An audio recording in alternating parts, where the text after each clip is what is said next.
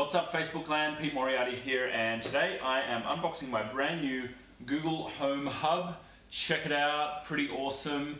Uh, this just arrived, it was announced at Google's event uh, just a couple of weeks ago. I jumped on and pre-ordered as soon as I watched the event and it has finally arrived, which is pretty cool. So I'm going to unbox it and tell you a little bit about what this device does. Um, so a year or so ago, Google came out with their Google Home. I've got one of the original Google Homes here and they quickly followed up with the Google Home Mini as well. Um, and I've been using both of these devices in my home since they launched. I've got the Home that kind of sits in the lounge room in the main area and then I've got the Home Mini which sits in my home office. Um, and this is the easiest way to use Google's Assistant. Um, so that's going to connect to your calendar, um, connect to you know the Google Web and answer any questions that you might have. Um, and you can also use it to connect to third-party apps, like maybe if you've got some smart switches or smart light globes, you can tell it to turn on and off the TV. Uh, if you've got a Chromecast, like I've got on the TV sitting behind me here, uh, you can tell it to play stuff from YouTube or play music from Spotify or whatever onto the Chromecast, which is pretty groovy as well.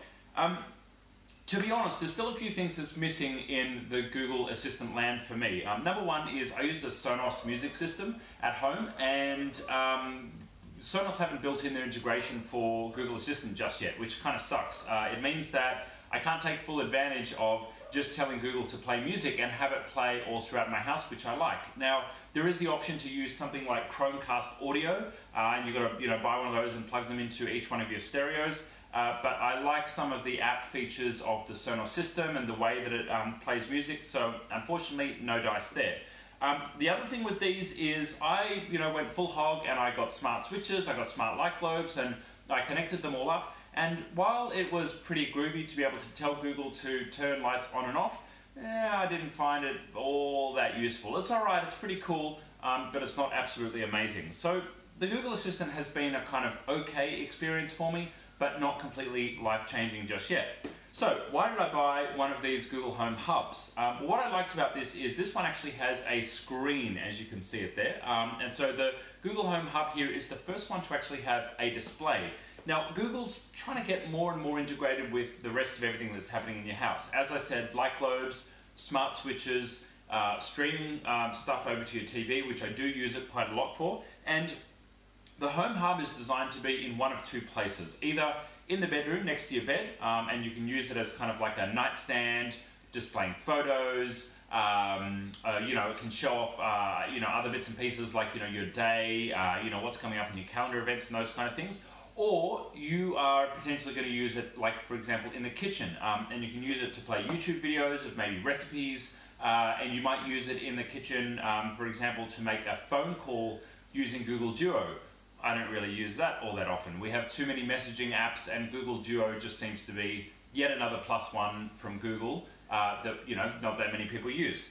Anyway, what I bought this for is I, I don't like having any tech in my bedroom, so um, I'm going to skip out on that option. But I like the idea of having this in the kitchen and being able to use it for our YouTube cooking videos, which I use quite a bit, um, and just being able to have kind of my stuff there at my fingertips. So for example, if I want to switch a light on and off, it's there. If I want to interact with something else in the Google Home, like uh, maybe some content that I'm streaming to a TV, I can adjust the volume, um, I can start and stop, anything like that, right from the Google Home Hub here. So that's why I bought one. Um, it was about 200 bucks. I think it was maybe 220. Um, and I think that's a pretty fair price for what you're getting. Um, I think the main downside of this thing is you're not actually getting a camera on it. Um, it's only got a microphone, and a, an ambient light sensor on the front. Um, so unfortunately, you're, you're not getting a, a, a, video Hangouts experience, which is what I was expecting and kind of what I thought it would be really handy for, to click one button and you know, video call a family member right from the kitchen. Anyway, so this is the actual device. This is the first time that I've opened it. It's actually a little bit smaller than I was expecting. Um, it's about the size of, a little bit smaller than my hands. I've got pretty big hands. Um, and I've ordered one in, uh, in charcoal, so you can see the, uh, the back here is quite nice, and apparently it's got a, a fully fledged speaker in the back there, so apparently the sound out of this will be pretty good. Um, this is the little display here, and you can see uh, there's a couple of sensors on the top. It's got the, the proverbial off switch on the back if you want it to stop listening to you. Uh, and there we go, that's it. Let's see what else is in the box here. All right, cool. So we have uh, Australian power plug. Um, I ordered this one directly from Google's website in Australia, uh, but uh, you can expect to see these appearing in your local JB Hi-Fi, I'm sure, before long, if they're not already, out there.